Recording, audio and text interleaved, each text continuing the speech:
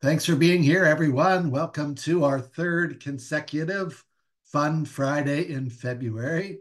Today, on Friday, February 16th, our presenter will be Jill Vanderstoep, who teaches statistics and other math subjects at Hope College in Michigan. Jill's actually on a year-long adventure this year. She's currently in Florida, and she'll be returning to Michigan by boat starting in a few months. So she's uh, she hasn't been teaching this year, but she's been teaching statistics for many years. Has been one of the co-authors on the Introduction to Statistical Investigations book and the series of books related to that. And Jill will be uh, leading you through an activity this morning that introduces students to comparing two groups with a quantitative response variable.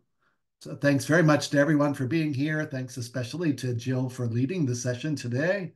I will be quiet and ask Jill to take over here. All right.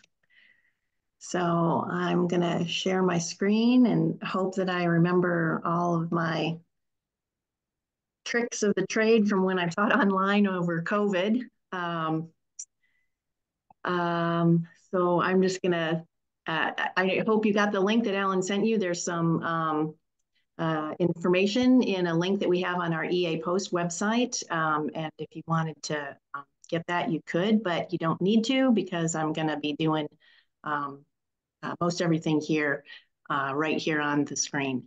So um, as Alan said, we're going to be looking at um, comparing uh, two groups with a quantitative response, so comparing two means. Um, just an overview, I'm going to give you a little bit of information on our curriculum, a little bit of information on how I run my class so you know uh, when in the uh, semester I would be teaching this. Uh, then we'll dive into an exploration uh, that compares two means with a simulation-based approach, and hopefully we'll have some time at the end for questions. Um, so our curriculum was created to follow GAISE. Um, so many of you I know are familiar with these guidelines. Um, our curriculum begins with the four pillars of inference. Uh, we talk about significance, estimation, generalization, and causation. And a feature of our curriculum is a spiral approach using the six steps of statistical investigation. So with each new data type that the students encounter, um, they go through these six steps of the statistical investigation. And we also utilize simulation, simulation to actively understand this investigation process. Uh, those six steps, which mirror the um, scientific method, we call them the statistical investigation method. Uh, step one, we're going to ask a research question. Two, we're going to design a study and collect data to answer that research question. Three, we're going to explore the data we collected. Uh, Four, we're going to draw inferences beyond the data. And this is what we call the logic of inference. And it's comprised of significance and estimation, two of those four pillars. Uh, step five is formulate conclusions. Uh, this is what we call our scope of inference. And again, that's comprised of two of those four pillars, generalization and causation. Lastly, we look back at the study, critique it, talk about what could have been done better, and we look ahead to see what we might do next. So in my class, um, we are on semesters at Hope College uh, in beautiful Holland, Michigan, and um, we have 16 week semesters, so 15 uh, weeks of instruction, one for final exams. In the first five weeks, I cover those four pillars, significance, estimation, generalization, causation. This builds a broad foundation for the students to kind of understand how to think statistically. Uh, the second five weeks, we start exploring uh, different data types. In that second five weeks, I look at comparing two groups. So two proportions, two means, and we also include matched pairs here. And then the third five weeks, um, I explore more general cases. So multiple groups, um, three or more proportions, three or more means, as well as regression. Um, in my class, my students have to do a little bit to prep for class. I want them to read uh, the section that we're going to cover so that they kind of have an idea of what's coming up. Now, a lot of this might be new to them. So there's also um, a set of videos that kind of takes them through that same reading. And if they're better learners uh, through videos rather than just reading, they can look at those videos, they'll get the same content. Then they take a very short online reading quiz that they have to complete before class, and they get, um, I think, two or three chances. It's uh, maybe four questions, just to make sure they're hitting the highlights. Ideally, they would take a look at the homework before class, and I do have a few students who actually do that. Um, and then once they arrive in class, we kind of recap the content from the example that they either watched the videos for or read through, um, see if there's any questions on the homework that they've started. And then we dive into an exploration that really follows the same steps of the example they looked at, but we've got a different content. Um, and then after class, they need to complete that homework. So this is, uh, we use Moodle for our class management. So this is just a screenshot from last spring um, for this day. So typically for me, this is week eight. So um, about halfway through the semester, I'm looking at comparing two means. Um, it, it tells the students what they need to do ahead of class. It's about what we're going to do in class and then what they need to do after class. And you might see some extra things on there. I do have um, some articles that I have my students read in what I call learning pod groups outside of class, and they have some questions they need to answer uh, and turn in, as well as um, some data explorations, again, that they do in these learning pod groups um, outside of class and then turn in. And those aren't like from class to class. They're usually about two weeks or so that I give them to complete those. Uh, so let me just pause there before I dive into our exploration. Just any questions that popped up on um, on the uh, we, we had a question in the chat about the videos you mentioned. Are these the ISI videos or your own? Can you point people to those videos? Those are the ISI videos that um, Nathan Tintle um, made, and they go along with our curriculum. And I don't, um, I don't know if these are, these might be behind a paywall um, to get to those videos, but I would be um, happy to, um, to share the one for the two means uh, afterwards, for sure. Anything else at this point? All right. So let's dive into our exploration. So we're going to look at dung beetles. Um, there are certain species of dung beetles known as rollers, and their main job is to get a ball of dung and roll it away as fast as they can um, because they're actually going to use it for a food source later on. And they want to get it away um, before any other uh, beetles steal it. So um, we're going to specifically study nocturnal African dung beetles. Oh, I, I should have said, I kind of want you all to put on your student hat now. So pretend like you're students in, in my class. Um, uh, so we're going to look at these African uh, dung beetles, and um, we know during the day that they use the sun to kind of navigate which direction to roll their um, dung ball, and at night they use the moon. But what about if it's a new moon? What if there's no moon out? Do they navigate by the stars then? So that's this question that we want, that we hope to answer. Um, also in the link, for my resources, there's a really great video if you wanted to show your students that video um, that talks about this study. And um, so that's uh, material that, that's free to you. Um, so this was published, this study was published in Current Biology in 2013. Um, there were actually several um, experiments that the researchers did, but we're just gonna look at uh, a specific one that hopes to um, reveal whether or not these dung beetles use the stars to navigate. So when I taught, um, I'm going to jump back between talking to you as students and talking to you as uh, um, someone who's running this workshop.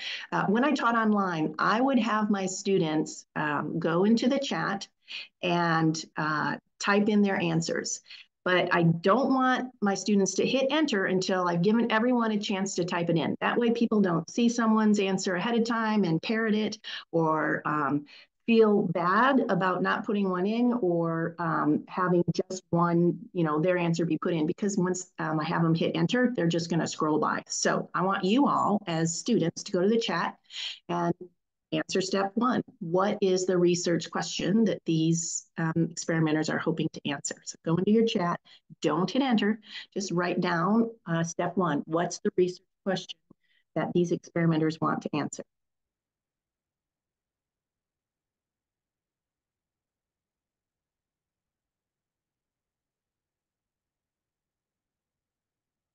And I'll give you just a bit of time to type that in.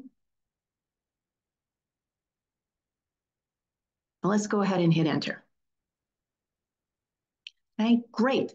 So we're wondering if these dung beetles can navigate using stars. So on a dark night, when there's no moon, are dung beetles able to navigate using the stars? You're all doing great. This is perfect. So we're going to take a closer look at this study. So step two, we're gonna, the experimenters designed this study and then they collected the data on 18 nocturnal African dung beetles. Um, these dung beetles were placed on the top of a dung ball in the center of a circular wooden platform that was 10 centimeters in diameter. Um, and this was, of course, on a moonless night um, when the stars were out. And then the researchers timed how many seconds it took for each beetle to roll their dung ball to the edge of the platform. Now, um, a treatment that was imposed was some of these beetles were given um, a black cap so that they couldn't see up. They have several eyes, so they could still see down, but they couldn't see up. So they're given a black cap, and then others were given um, a clear, transparent cap. So the beetles with the black cap couldn't see up to um, the stars, and those with the clear, transparent cap could. Uh, in the paper, the researchers do not explicitly state that this was a randomized experiment, but there's no reason to suspect that the beetles who received the clear cap were in any way different uh, than those who received the black cap. And um, so we're going under the assumption that these were uh, beetles were randomly assigned to the black and clear cap. So here's a question that um, I might bring up with my students talking about the design of this study. Um, so again, I want you to go to your chat, but don't hit enter yet. Why do you suppose that the control group of beetles wore clear caps? Why didn't they just not wear a cap so that they could see the stars and then the black cap beetles couldn't see the stars? Why would the control group wear a clear cap? So just go to your chat and write down what you think. And I'll give you just a minute to write down what you think.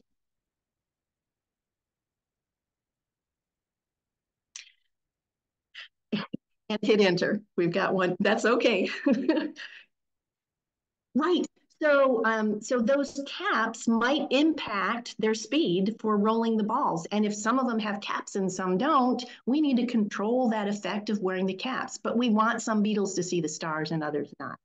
So excellent, good, good job, right? So we want the experience to um, be the same uh, in both of the two Beetles cases. So now the only difference is kind of the seeing of the stars versus not. Um, again, these are questions that um, I ask my students. And if you've pulled up the PDF, we're actually going through um, the questions right here. So um, uh, we're, we're looking um, at the beginning of the questions. I think we're on question um, three, four, five, and six is what we're kind of going through here. Uh, and I'll jump back to two in a second. So I want you to go to your chat and don't hit enter just yet.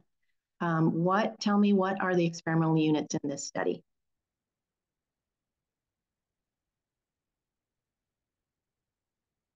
And go ahead and hit enter. Yeah, okay, so the dung beetles, excellent. And um, second question, don't hit enter yet what's the explanatory variable? So type that into your chat, but don't hit enter. What's the explanatory variable? And go ahead and hit enter. Yeah, so can they see the stars or not? And the thing, there we go, the thing that allows them to see or not is the type of cap. So the explanatory variable is the type of, of cap. I also ask my students what type of variable that would be, either categorical or quantitative is how we would categorize our, our variables. And in this case, we've got a, a binary categorical variable, so just two categories. Right back to the chat one more time. Don't hit enter yet, but what's the response variable that is measured on each of these beetles?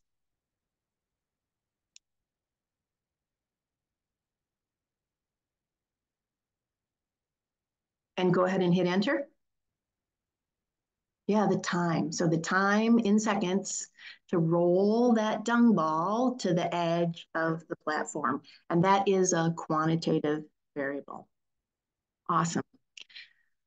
So this is something that I've been um, doing new in my class. Um, I've been bringing in uh, what I call a sources of variation diagram. It's actually in our intermediate curriculum, but I like it because it uh, gets the students thinking about variability, and variability is something that's really important in statistics. So we know that each of these beetles is probably going to have a different time that it takes to roll their dung ball to the edge of the platform. So we're going to see variability in these times. And I want my students to think about that variability. Um, so this would be the first time in my intro class that I would introduce this sources of variation diagram. So I've filled in some of it for the students already.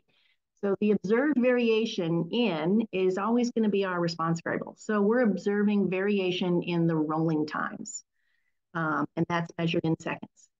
Then we've got some inclusion criteria, and this is looking at kind of our study design. We're only looking at nocturnal African beetles. So those are the only experimental units that we've included in our study. And then particular to the design of the study, we've got this 10 centimeter diameter platform, wooden platform. So um, the, as the students see this, more and more they'll get better at filling in uh, that part. So now I want to talk about the next two boxes because I haven't filled those in yet. So we've got a lot of variability in those times is there some uh, something that we have imposed that might explain some of the variability of these times? So I don't know, and again, my students might not know exactly what I'm asking here, but I do want you to go to the chat, don't hit enter. But is there something that we've already done, the experimenters have done in this study, that they're hoping is gonna explain some of the variability in the rolling times? So go to your chat. and hit enter. That's right. So the cap type, we think, is going to um, influence some of those times. And so that's going to explain maybe why some beetles are a little bit slower and others are a little bit faster. So that's something that we've controlled. There are other things that might explain why some beetles are rolling their dung ball faster to the edge and others are rolling it slower. So I want you to just brainstorm what other types of things do you think might um, explain some of that variability that we're seeing in the rolling times. So go to your chat, but don't hit enter yet. What are maybe some other sources that might um, explain some of the variability that we haven't controlled for?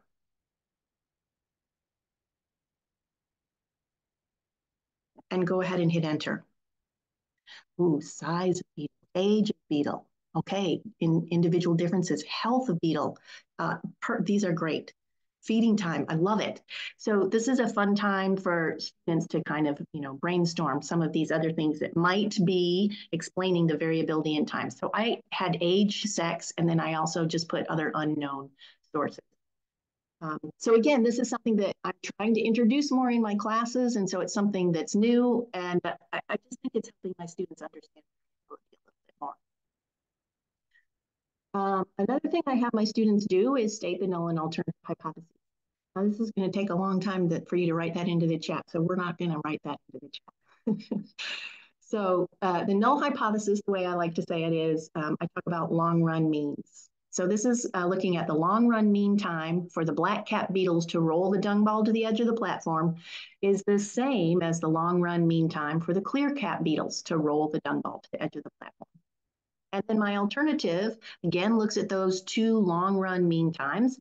So the long run mean time for the black cap beetles to roll the dung ball to the edge of the platform is higher than the long run mean time for the clear cap beetles because those black cap beetles, remember, they can't see the stars. And so I don't think they're going to be able to navigate as well because my original question was, do beetles use the stars to navigate on a dark moonless night? Um, I also um, do use symbols with my students because I think that they're going to see them in other classes. And so I always define those symbols, in this case, my parameters, of interest represented by symbols. So mu sub black is the long run mean time for the beetles with the black caps to roll the dung ball off the platform. And mu sub clear is the long run mean time for the beetles with the clear caps to roll the dung ball off the platform.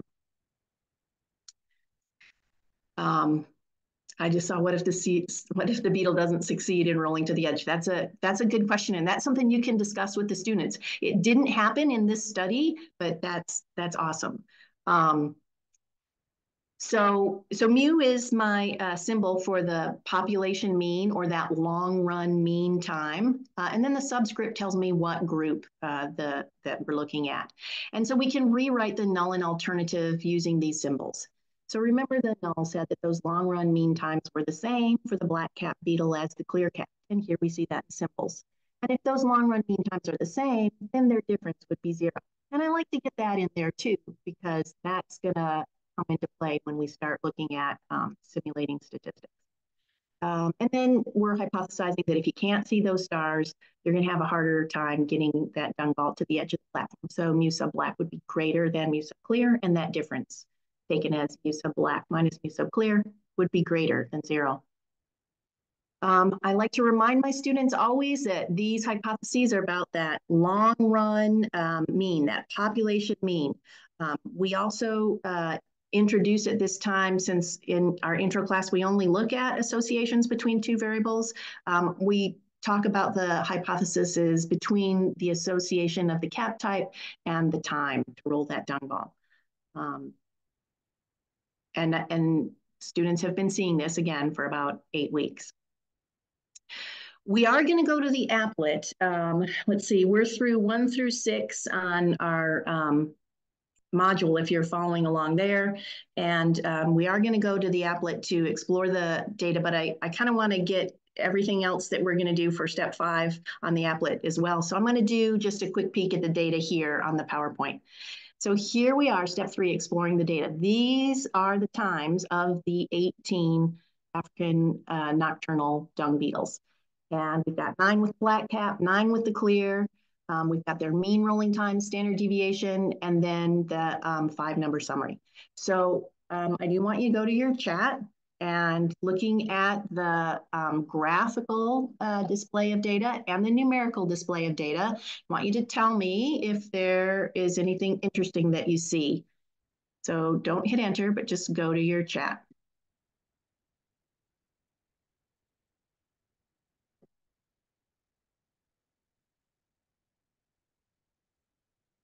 and hit enter. Okay, good, I love it.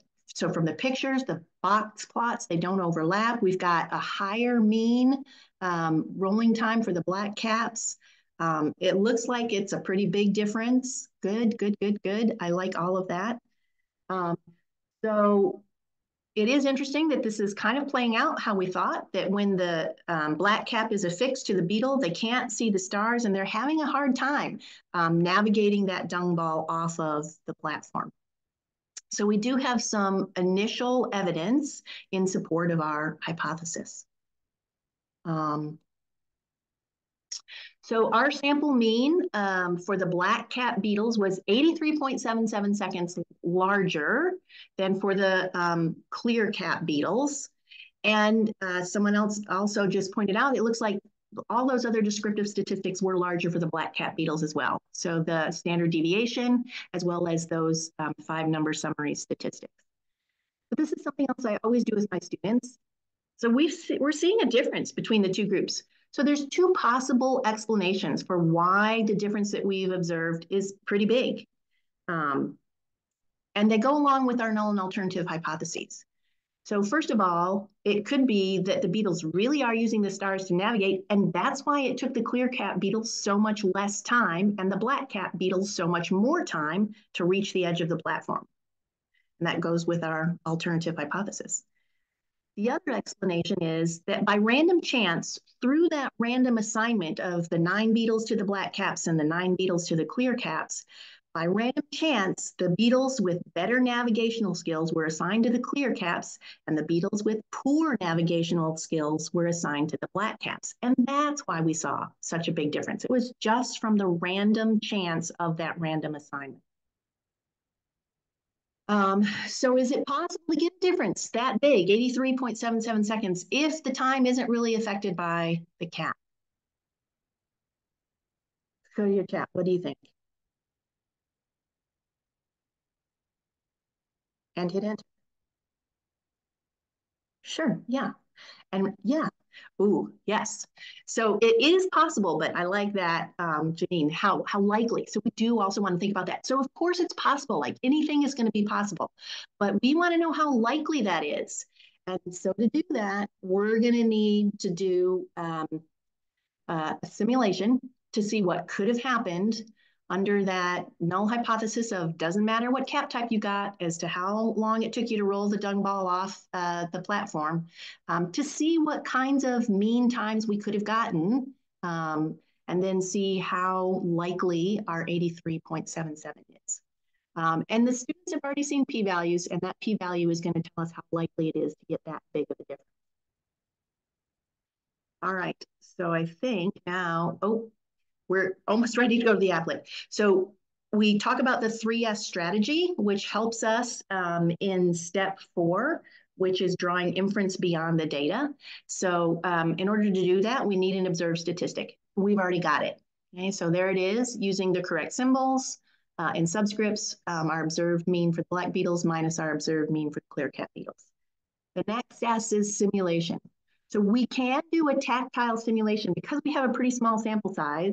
We could actually take 18 cards um, and write the times of all 18 beetles on those cards.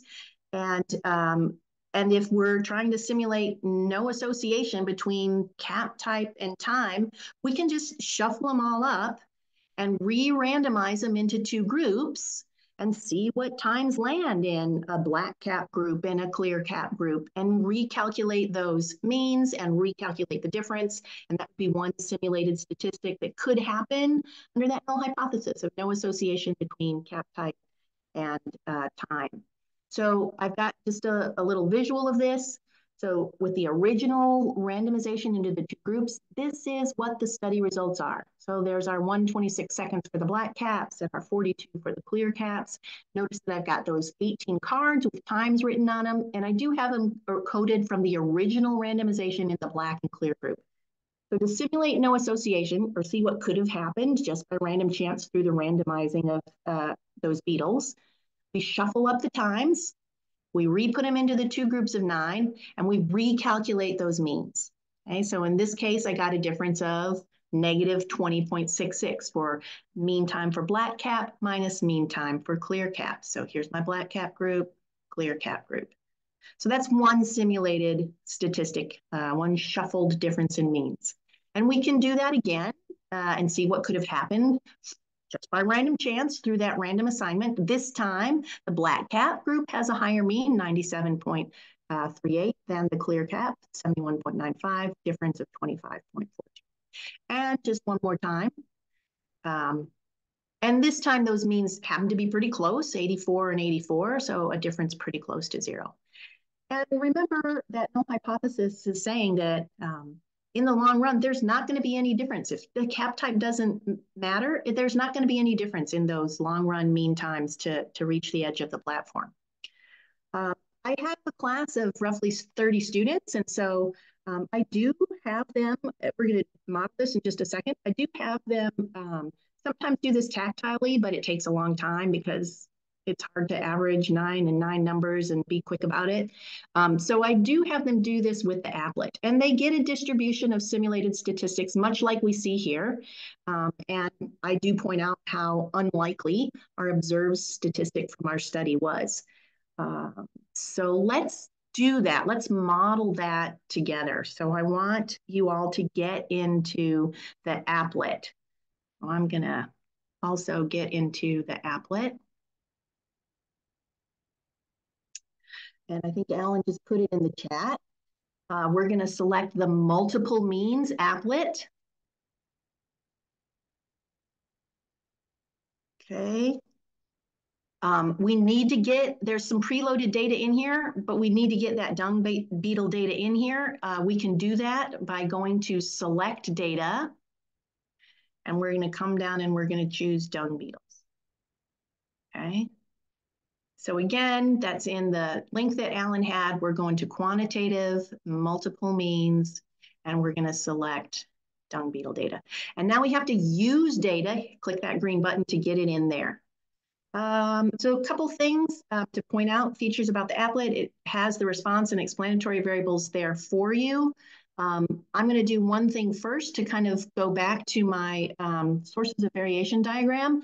I unchecked the show groups and I just looked at the data overall.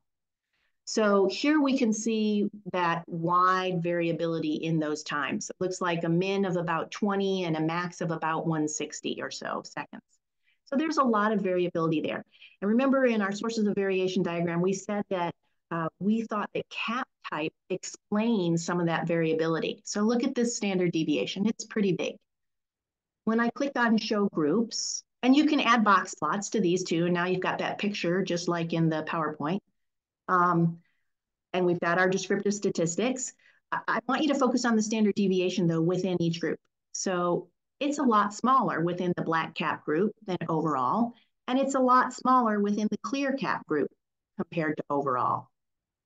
Okay, so 22 and 15 compared to that 46. So indeed, cap type did explain some of that variability that we were seeing uh, in those times.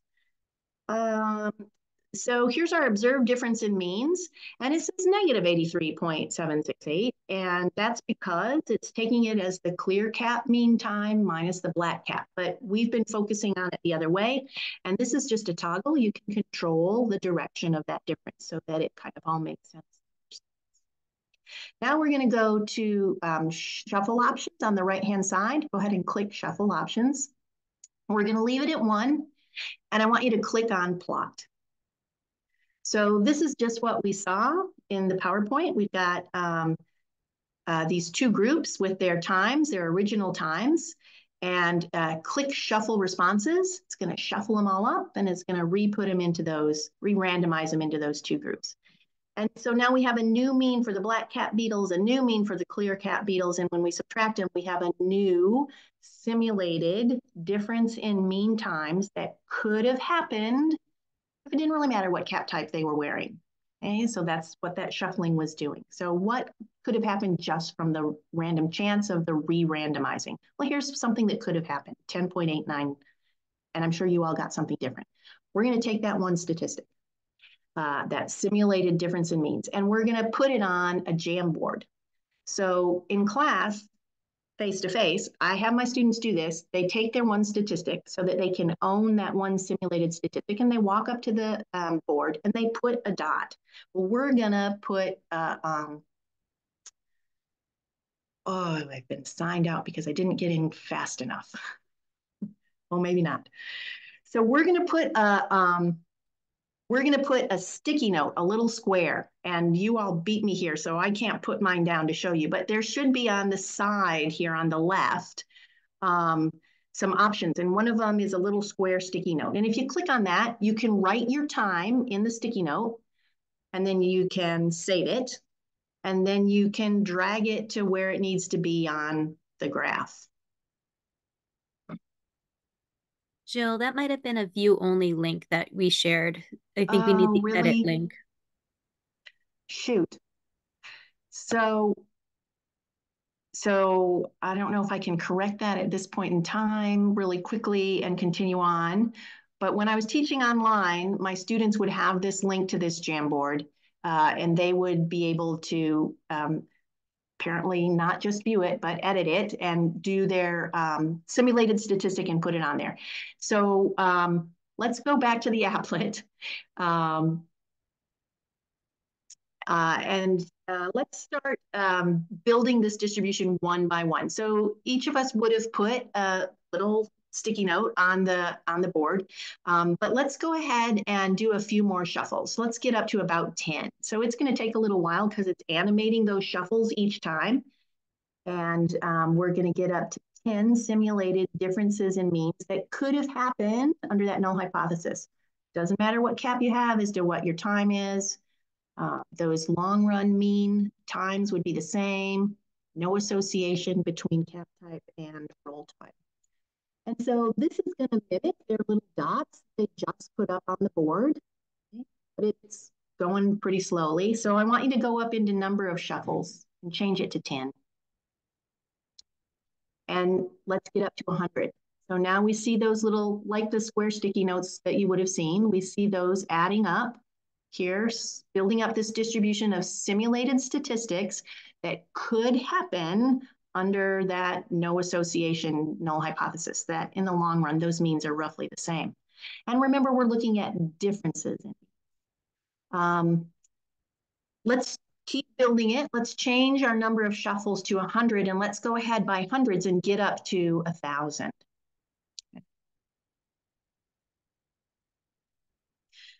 So we've seen a lot of simulations in class in the first half of our class. And so we know that if you do about a thousand, you've got a pretty good idea of what this distribution of simulated statistics is going to look like. And so I always ask my students about what's the shape of this distribution? So we could go to our chat. So go ahead, don't hit enter. Put in what's the shape of this distribution? And hit enter. We didn't give you enough time. good. Oh, good. Symmetric, unimodal, roughly normal, mound. I like that one. Yep, symmetric, bell shaped. Good, good, good. And and what about where's the center? So don't hit enter just yet. Type in where's the center of that distribution. And go ahead and hit enter now. Yeah, it seems to be near zero, okay?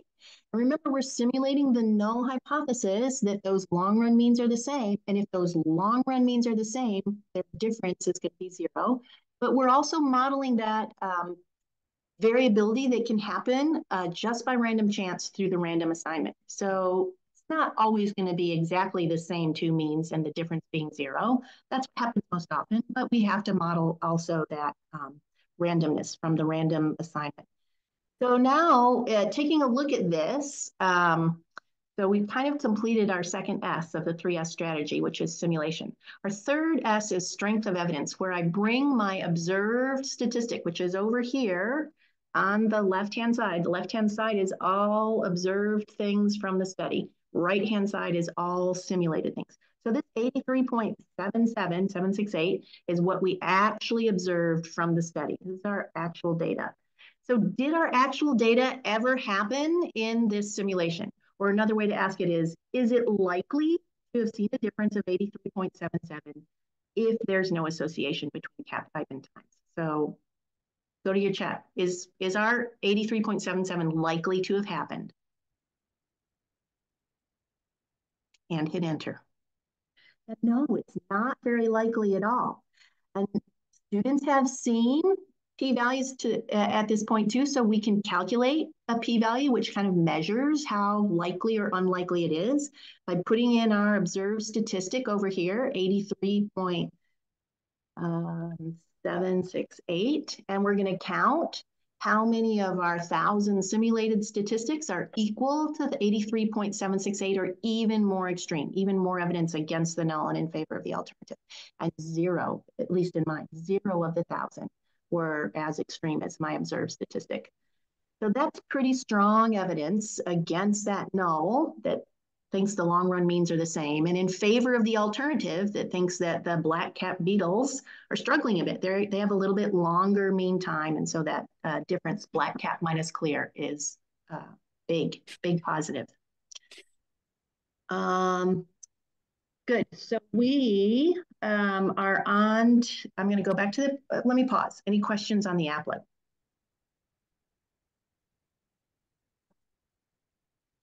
Um, so I talk about this as um, it's an it is from a simulation, so it is a simulated p-value, and it's just an approximate p-value. Okay.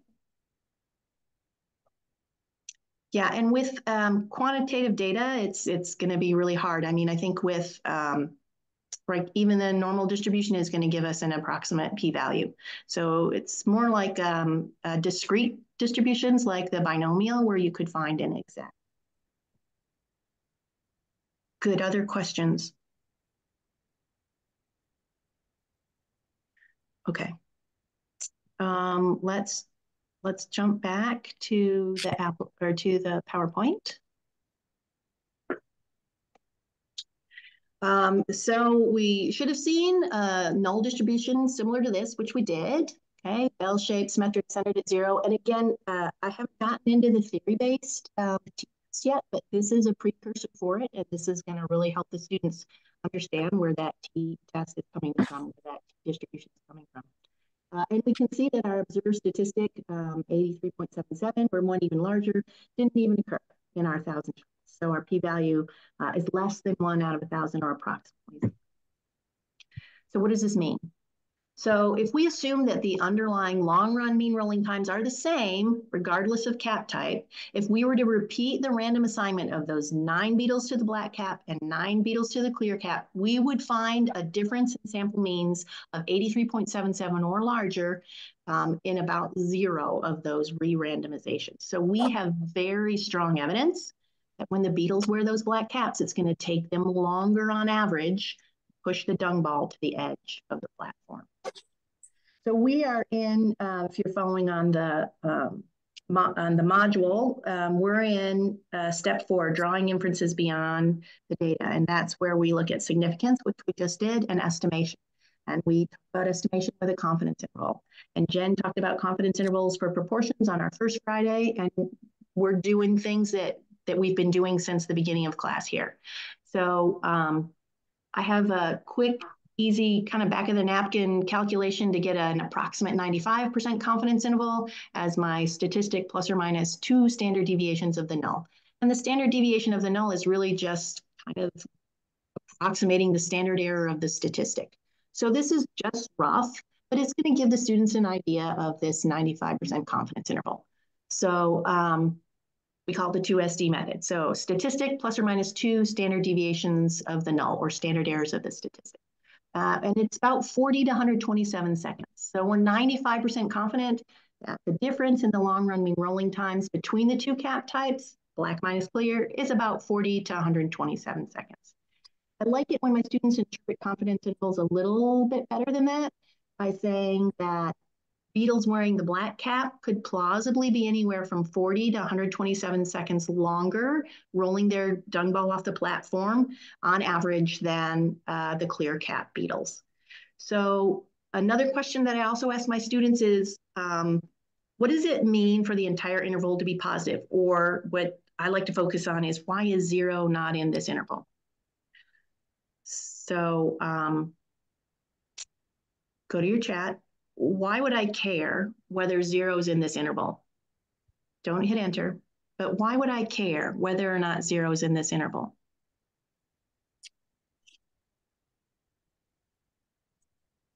And hit enter. Yeah, zero. Yeah, exactly. So zero means that there's no difference in those those long run means. And again, this is a confidence interval for those long run means. It's based on our observed means, but that would mean that there is no difference in the long run means, or that that would be a plausible value for the difference in the long run means. But since zero isn't in the interval, it's not a plausible value. So this is also giving us evidence against that null hypothesis. And since the interval is entirely positive and we took it as black minus clear, it's also giving us evidence for the alternative that the black cap beetles are having longer rolling times on average than the clear cap. Um, so how am I doing on time? Ooh, step five uh, is uh, formulate conclusions. So this is where um, generalization and causation come in. Um, so we focus on whether or not the data we gathered was a random sample because we've explored what random samples mean for us. Um, if it is a random sample, then we can generalize back to that broader population. So um, what do you think? Step, uh, was there a random sampling? Oh, I don't. Go to your chat. I don't know if you remember anything from the beginning, but go ahead and hit enter. Let's see what we got. And I might, I might not have a lot here yet. Yeah, that's okay. Yep, uh, they they didn't say anything about random sampling. So this was not a random sample. Um, so we need to be really careful when we generalize our conclusions. Um, but I do like to tell my students that you can always generalize beyond your sample to experimental units similar to those in the study. So we could comfortably generalize to nocturnal African beetles, say, gathered in the same area that these 18 came from. So that I would be completely fine doing that. Can we generalize to all beetles? Probably not, okay? Um, what about random assignment? That's, again, they've seen this early on in the class. Is that going, that's going to help us determine uh, whether or not we can make causal conclusions. So was random assignment used in this study? Go to your chat. And hit enter. yeah, we believe it was. We believe that it was used. And so um, with that random assignment, and because we had a statistically significant result, we can say that the cause of the difference that we saw was due to the explanatory variable, the type of cap that the beetle had on, namely that that black cap was causing the increase in the rolling times because the beetles couldn't see the stars to navigate by. So um, wrapping it all up, we do have strong evidence of a difference. Um, here's where I also like to talk about not just statistically significant evidence, but what about practical significance? And here's where you might need to defer to some of your biology um, uh, uh, profs that, that maybe you've worked with. Is 83.7 seconds really a meaningful difference? Maybe it is. It's about three times more likely for them to clear that dung ball off the off the platform, and they need to get that food away um, before some other beetle steals it. Um, so, so confer with your biology colleagues. Is that is that also meaningful? Um, so it does seem that the beetles are using the stars for navigating and that they're being able to um, navigate much more quickly when they can see those stars. All right, last step, and I forgot to zoom these in. Shoot, sorry. this is a fun one um, for the students because they like thinking about um, the study and they like thinking about what they might do next. Um, and so I always ask, looking back, is there anything that maybe you were concerned about in the study design, or there things that could have the experimenters could have done better? Um, so I, I already put in an answer. Uh, my, my students always say larger sample size, which is good that they recognize, you know, that that would be a good thing. Um, they address usually, you know, um, with the generalization, we didn't have a random sample. It'd be nice to have a random sample. Um, replication is always a, a, good thing to do. So could these results be replicated? Uh, and then maybe something about are caps the best way to kind of occlude those eyes, those upper eyes from, from seeing the stars? Um, and then looking ahead, I, I asked them, well, what, what, what would you do next? Like after you fixed all these things that you addressed, what would you do next? And maybe don't look at my answers, but are there things that you wanted to do next? Like what would you do with this information? Go to your chat. What would you do with this information on navigating with the stars for nocturnal African beetles?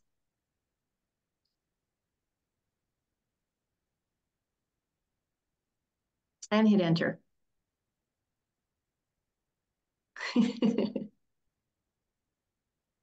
yeah. So I kind of put some of those thoughts in there, but the students are going to come up with these. They're going to say, well, let's do more than just African beetles, right? Let's do different regions in the in the world. And let's maybe look at other animals besides beetles, other nocturnal animals. Do they use stars to navigate on a moonless night? Um, and they come up with some really fun studies. And so, um, so that's a, a fun part of those six steps of the statistical investigation method. So that's all I have. I'm sorry about that Jamboard. Um, I haven't done one of those in a few years. So, um, but if you're teaching online, they actually do work really well. Um, so Allan's going to send out a, um, a recording. Um, if you haven't joined our Slack channel, it's a fun place where we can share and build community. And next Friday, you should come back and hear someone talk about regression. And the following Friday, you should come back and hear Beth Chance talk about how she introduces probability. So thank you very much. Thank you very much, Jill. We have, uh, it's nine minutes till the top of the hour. So we have a, uh, some time for questions and comments and reactions. Feel free to unmute or type in the chat, whichever you prefer. How did you get your slides to like move all around? Um, so true confession, I stole the um, manipulated slides from my colleague Todd Swanson, but I can find out how he did that because I was, when he showed me that, I was really impressed. I'm like, oh my gosh, that's so great. yeah, I will, I will for sure find out for you.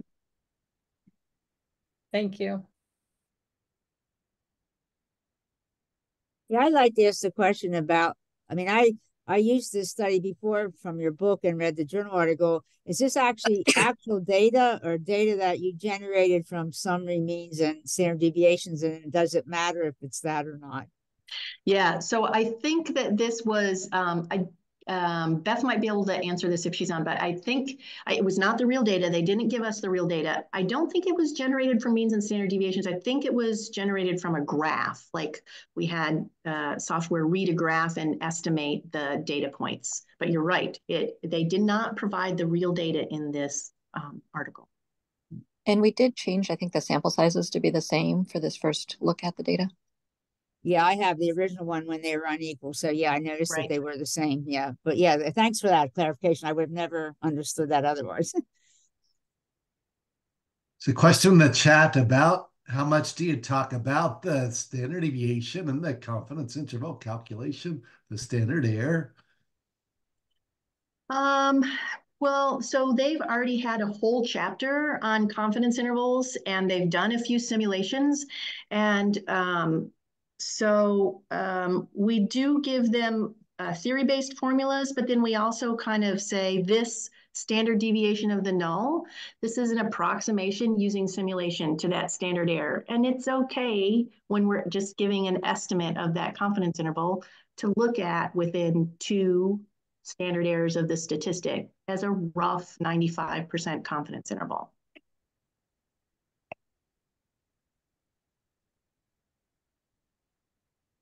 Thanks for the questions. We have time for some more. That means I talk too fast.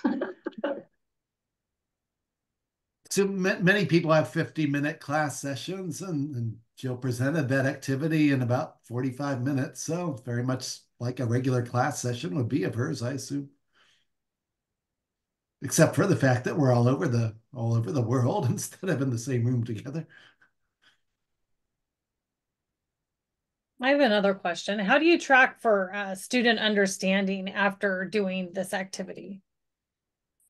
Uh, so I usually give, um, uh, I actually didn't put this in what I do in class. I often will give um, little quizzes. Um, and I do, I actually stole this from my colleague Allan, uh, group quizzes that are very short, um, but again, hit on kind of the primary points of understanding. So it's a, um, a low stakes way to, to test them before they get to the actual unit test. And so I, I usually give one or two quizzes a week that just talk about, you know, the things that they learned in the beetle exploration or the example that went along with it. Yeah. Question in the chat about how you handle the video quiz or the reading quiz. Is that through a learning management system or how do you do that? It is. So um, the um, so this is a carryover from COVID. I've got the reading video quizzes in my Moodle system, and I've got the homeworks in my Moodle system. So it's really nice because those are then automatically graded. Now, if a student thinks that it's unfairly graded or wants to challenge something, they can always come to me and I can take a look at what they did and I can adjust their score.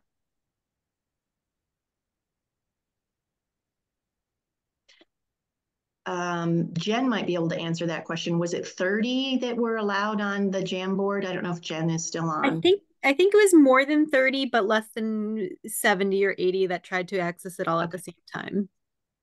Most um, typical size classrooms should be accommodated with Jamboard, or Google Slides could also do it, but not as elegantly.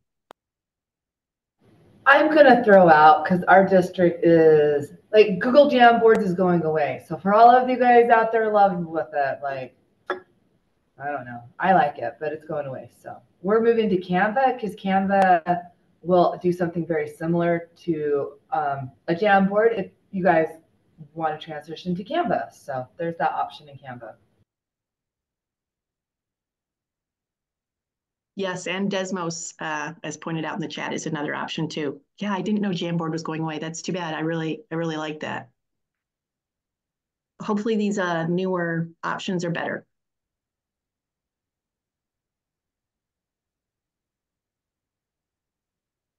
Still have two or three minutes till the top of the hour. More questions, comments, recommendations? Yes, I have a question. Uh, you Go mentioned that students uh, they would do the homework prior to the, to the to the lesson. How aligned is the homework with uh, with the with the with the experiment you did today and the the, the activity? Yeah, good question. So the homework um, uh, usually does not use the same contexts as the example or the exploration. They're new contexts, but similar questions. Do they use the same uh, simulation process that you in that homework?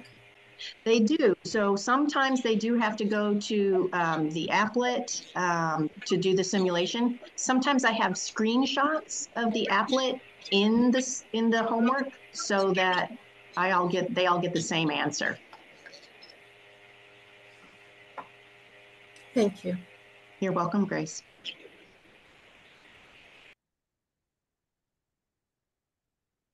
Last question before we wrap it up today.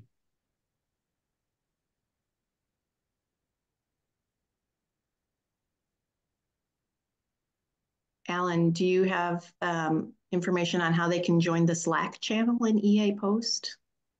Yes, Soma responded that we'll send you an invitation.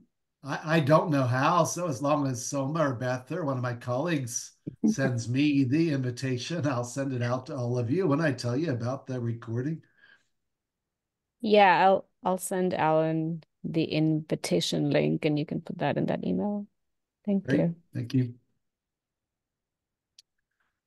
Okay, well, it's it's one minute till the top of the hour. So thank you all again very much for coming today. Thanks again to Jill.